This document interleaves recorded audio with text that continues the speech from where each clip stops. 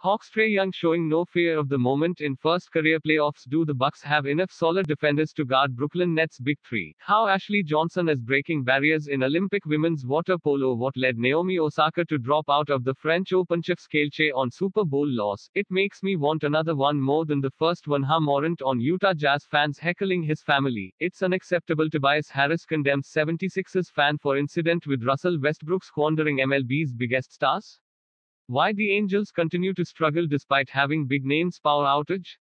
Breaking down what's wrong with MLB hitters, sports seriously why top basketball prospects will still consider NCAA overpaid leagues wizards Russell Westbrook has popcorn dumped on him by fan while leaving court didn't blame the balls. MLB's hitting problem goes beyond dead end baseball's Frisco, Texas. Dallas Cowboys defensive end Randy Gregory says he's proud, Lord Arrowhead's proud of the fitness he's maintained over the last year that powered his production in 10 games last season. He's proud that for the first time since his rookie year in 2015, he's participating in a full off season rather than serving a suspension for violations of the league's substance abuse policy, and he's proud of the mental health he's proactively fostering, the structure he's established to combat his social anxiety, and at last, attempt sustained success. There was a time in my life when you could ask me to say one good thing about myself and I couldn't, Gregory said Tuesday from Cowboys headquarters.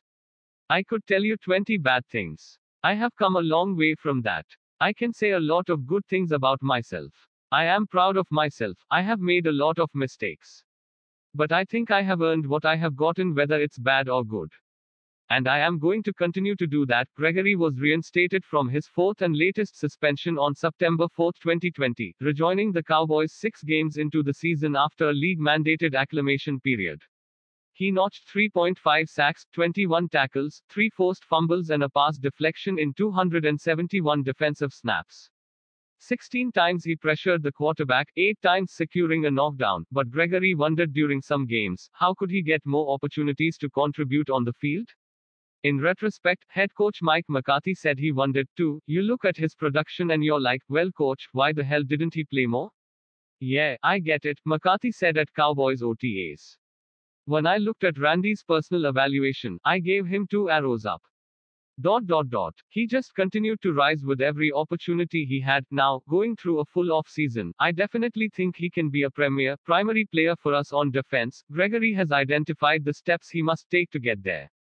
First, he simplified his lifestyle during the off season. He established a workout regimen that maintained his weight, and a family environment, caring for his children, paying the bills, that countered the unhealthy habits he'd previously turned to. Cowboys DE Randy Gregory. There was a time in my life when you could ask me to say one good thing about myself and I couldn't.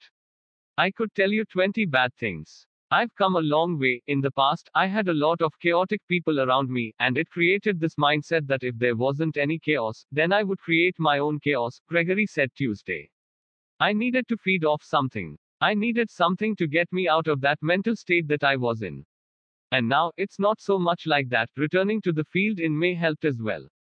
The structure of OTAs and minicamp, Gregory was barred from each during suspensions, enhances his ability to focus, intensifies his sense of purpose, and gives me an excuse to get up in the morning and have fun, Gregory said. He relishes the opportunity to begin mastering a playbook in the spring rather than fall, to hone his technique and athleticism in ways he said he hasn't during his professional career. Gregory anticipates his responsibilities resembling those of a defensive end, strong side linebacker hybrid, specializing in rushing the passer.